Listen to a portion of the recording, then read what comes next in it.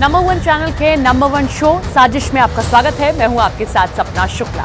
साजिश में आज बात इसराइल के उस एक्शन की जिसने हमास को मुँह दिखाने लायक तक नहीं छोड़ाया। गाजा पट्टी से कुछ ऐसी तस्वीरें आ रही हैं जिनको देख पाना इस्माइल हानिया के लिए बहुत मुश्किल है।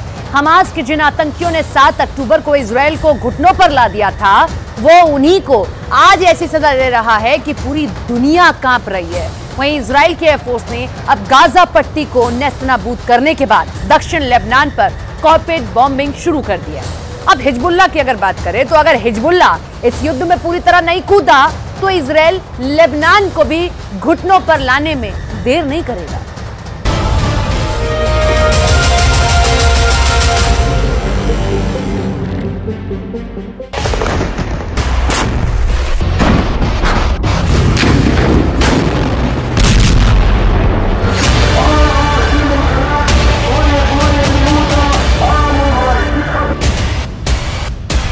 इसराइल इंतकाम की आग में जल रहा है।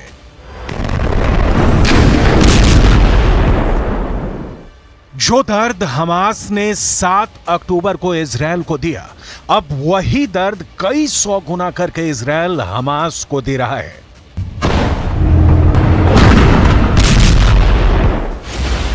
गाजा पट्टी से बेहद खतरनाक और दिल दहला देने वाली तस्वीर सामने आने लगी है।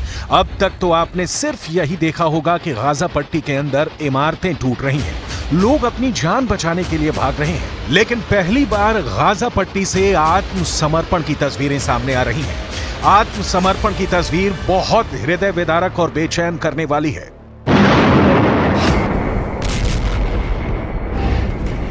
रूस और यूक्रेन में युद्ध इस वक्त भी चल रहा है और पूरी दुनिया ने रूस और यूक्रेन के बीच चल रहे युद्ध में भी आत्मसमर्पण की तस्वीर देखी है।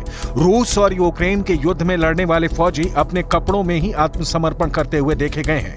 लेकिन इसराइल ने बहुत ही खतरनाक अंदाज में हमास के आतंकवादियों का आत्मसमर्पण करवाया है। दरअसल फिलिस्तीन के तमाम न्यूज़ वेबसाइट और अखबार इस तरह की खबरें छाप रहे हैं कि हमास के आतंकवादियों को निर्वस्त्र करके, यानी बिना कपड़ों के आत्मसमर्पण करवाया जा रहा है। एक वीडियो भी पूरी दुनिया में वायरल हो रहा है। वीडियो में दिख रहा है कि हमास के आतंकवादी सैकड़ों की संख्या में बिना कपड़ों के खड़े हैं और एक शख्स जिसके शरीर पर कपड़े नहीं हैं, वो अपने हथियारों को हथियारों के ढेर पर फेंक रहा है। यानी आत्मसमर्पण कर रहा है। गाजा पट्टी से आ रही इन तस्वीरों ने पूरी दुनिया को चौंका दिया है। गाजा पट्टी की हालत लगातार बिगड़ती जा रही है। उसकी वजह बिल्कुल साफ़ है। दरअसल अब गाजा पट्टी के लोगों को मदद नहीं मिल पा रही है। युद्ध की वजह से किसी और भी व्यवस्था को कायम करना एक चुनौती बन गया है। फिलिस्तीन के कई अखबारों का दावा है कि गाजा पट्टी के संतानवे प्रतिशत घरों में राशन नहीं है। नब्बे प्रतिशत लोग अब खाने के लिए दुनिया पर निर्भर हो चुके हैं। हालात बहुत ज़्यादा खराब हो चुके हैं और अब तक जानकारी के मुताबिक करीब 18,000 लोग इस जंग में मारे जा चुके हैं। लेकिन अब इसराइल की आर्मी ने एक और नया आंकड़ा पेश किया है। इसराइल की आर्मी ने दावा किया है कि इसराइल की सेना ने अब तक 7,000 आतंकवादियों को मार गिराया है।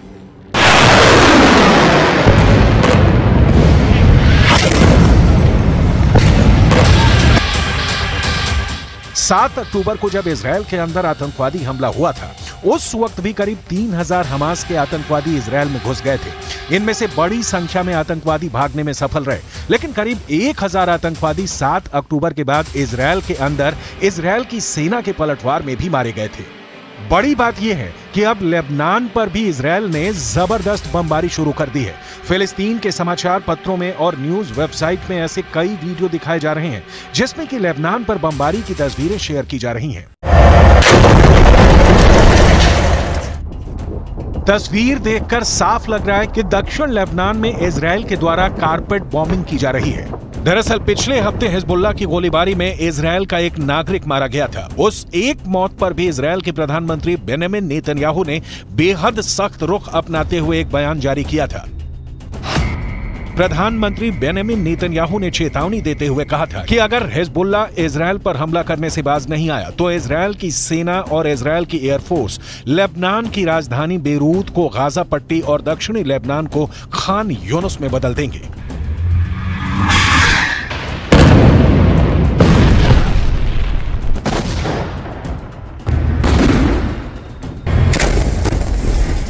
इस धमकी के बाद अब दक्षिणी लेबनान में भी कारपेट बॉम्बिंग शुरू हो चुकी है, जो इस बात का संकेत है कि युद्ध लगातार भड़कता जा रहा है। युद्ध के हालातों में अस्पताल चलाने का अनुभव रखने वाले एक ब्रिटिश मूल के डॉक्टर ने यह कहा है कि गाजा पट्टी में हालात इराक युद्ध से भी ज़्यादा बदतर नज़र आ रहे हैं। उन्होंने इसकी तुलना एक सुनामी से की है। Even the wars in, in Iraq and Syria and Yemen that I've been involved in, this is the, the, the difference between this one and, and those ones is the difference between a, a flood and a tsunami. The size, the intensity, the ferocity, the fact that the destruction of the health se- uh, sector was central to the war effort. Um, all of the, all of, all, every aspect of this war was just magnified. दूसरी तरफ़ अब Israel और Hamas की जंग तीसरे महीने में प्रवेश कर चुकी है। और इस तीसरे महीने में भी इसराइल फिलिस्तीन के लोगों को राहत देने के लिए जरा भी तैयार नहीं है। पहले इसराइल ने उत्तर गाजा के पूरे इलाके पर ज़बरदस्त बमबारी की है। और अब इसराइल दक्षिणी गाजा में भी रफा क्रॉसिंग और खान यूनस पर भयंकर बमबारी कर रहा है।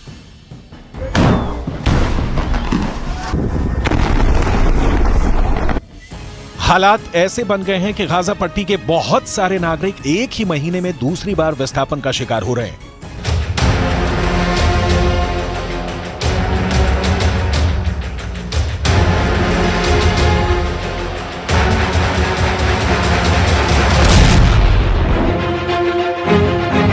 लेकिन इससे भी ज़्यादा खतरनाक कहानियाँ गाजा पट्टी के वो लोग सुन रहे हैं जो इसराइल की आर्मी की हिरासत में रहे।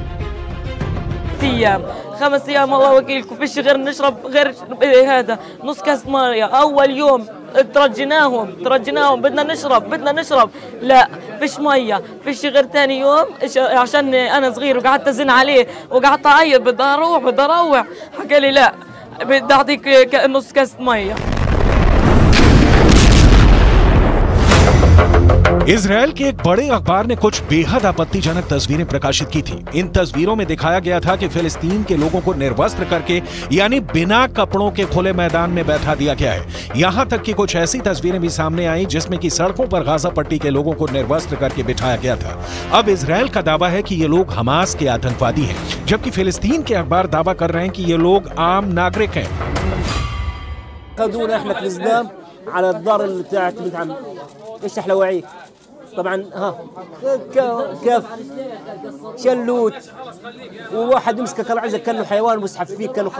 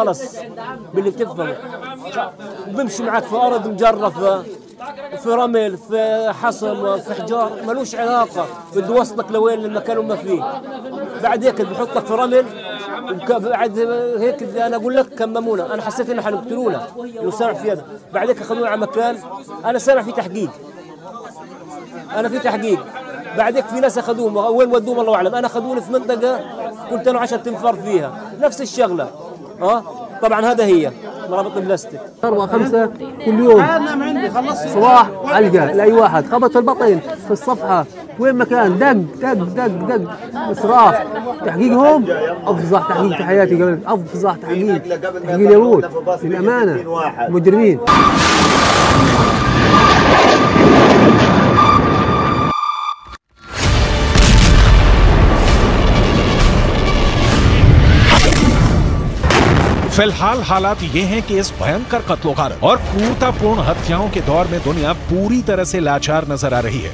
संयुक्त राष्ट्र सुरक्षा परिषद में एक प्रस्ताव लाया गया और उस प्रस्ताव में किसी भी तरह गाजा के युद्ध को रोकने की मांग की गई। लेकिन अमेरिका ने अपने वीटो के माध्यम से युद्ध रोकने के प्रस्ताव को खारिज कर दिया। इस पर इसराइल के प्रधानमंत्री बेनमिन नेतन्याहू ने एक बयान दिया। उन्होंने कहा कि अमेरिका ने युद्ध खत्म करने के प्रस्ताव को खारिज करने के लिए वीटो का इस्तेमाल कर सही फैसला किया है। दूसरे देशों को भी इस बात पर विचार करना चाहिए कि अगर युद्ध रुक जाएगा तो हमास को पूरी तरह से खत्म करना मुश्किल होगा। दूसरी तरफ़ दुनिया एक और संकट में गिरती भी नज़र आ रही है। यमन का चरमपंथी संगठन हूथी। जिसका कि यमन के एक बड़े इलाके पर कब्जा भी है। अब लगातार उग्र होता जा रहा है। हूथी अब लाल सागर को जाम करने की योजना बना रहा है। दुनिया के इस नक्शे को देखिए। इसमें लाल सागर की लोकेशन बेहद अहम है।